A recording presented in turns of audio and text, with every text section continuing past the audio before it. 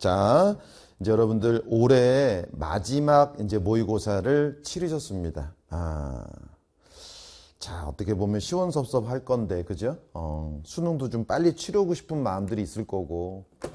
저희 아들도 이제 그 뭐 군대 가기 전에 그러더라고. 이제 지금은 이제 들어갔습니다만은 이제 입대가 한 한 달 정도 남으니까 그냥 빨리 들어가고 싶다고. 뭐 그런 마음이 있잖아요. 그지? 어, 너무 괴로우니까.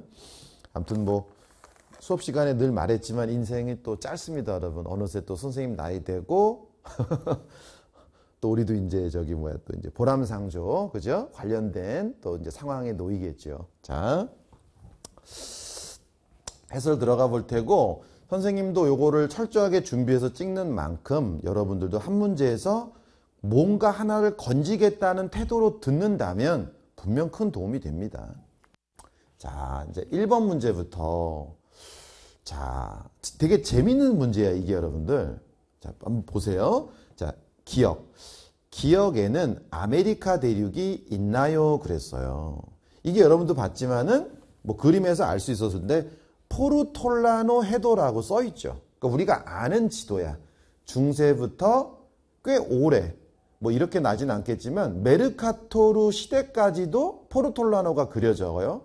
그리고 실제로 메르톨 메르카토르 지도 안에 보면은 이 포르톨라노 해도처럼 이렇게 그물망 같은 많은 방위선들이 또 그려져 있기도 합니다. 하지만 이제 그 부분을 건드릴 가능성은 없어요. 그냥 포르톨라노 해도는 중세부터 제작된 항해용 지도. 요게 포인트죠. 근데 보니까 이게 13세기에 제작됐다고 하니까 아메리카 대륙은 표현됐을 리는 없겠죠. 이 13세기 포르톨라노에. 왜? 1492년이 콜럼부스가 아메리카 대륙을 발견한 거니까 15세기 말이니까. 근데 모르실 수도 있어요. 또 모르실 수도 있어 이게 또 이런 또 어떤 세계사적인 상식이 또 없을 수도 있어요.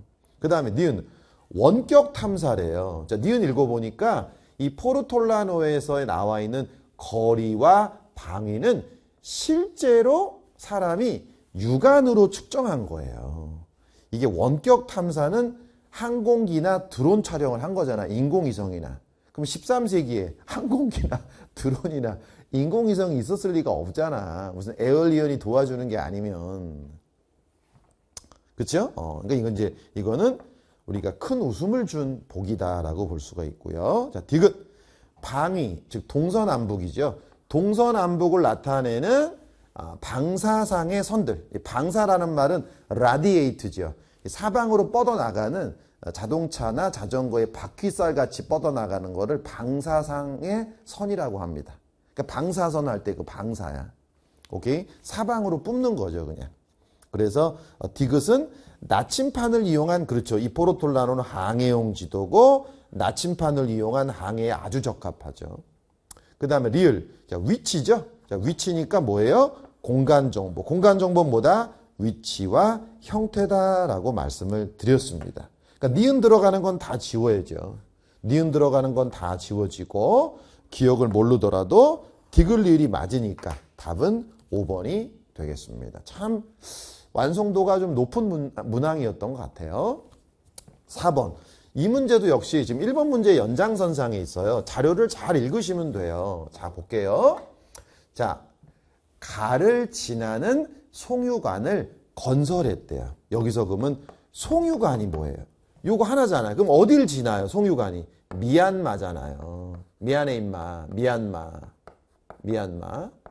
그 다음에 중국은 여기 중국이 주어져 주체죠. 중국은 자국과 국경을 접하는 중국과 국경을 접하는 건 현재 미얀마, 그 다음에 라오스, 베트남 이렇게 있습니다. 그죠? 아, 나의 수도까지 고속 전철을 연결시켰다. 이제 고속전철이 두 개가 있어요. 예정이 있고 지어져 있는 게. 자, 지어져 있는 건 라오스네요. 라오스죠. 라오스. 라오스. 그 다음에 이제 동남아시아 최장 고속 철도망을 다까지 연장을 할 거래요. 예정이죠. 다가. 그럼 요게 보세요. 요게 봐. 섬국가죠. 지금 섬국가. 싱가포르죠. 싱가포르. 여기 또, 또 힌트가 있어요.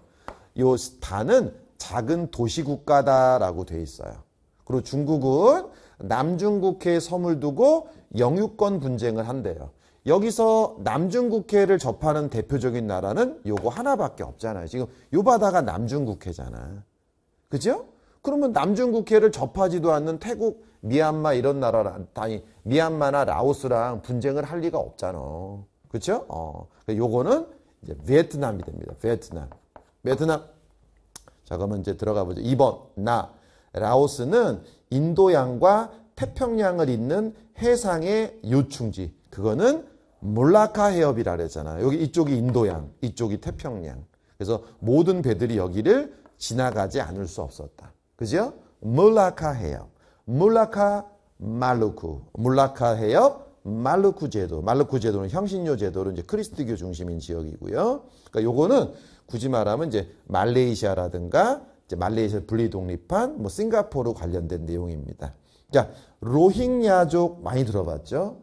바로 미얀마에서 다수인 버마족이 탄압하는 대표적인 민족이죠. 그래서 원래 그들의 출신지인 방글라데시로 리턴하고 있다 이런 얘기죠.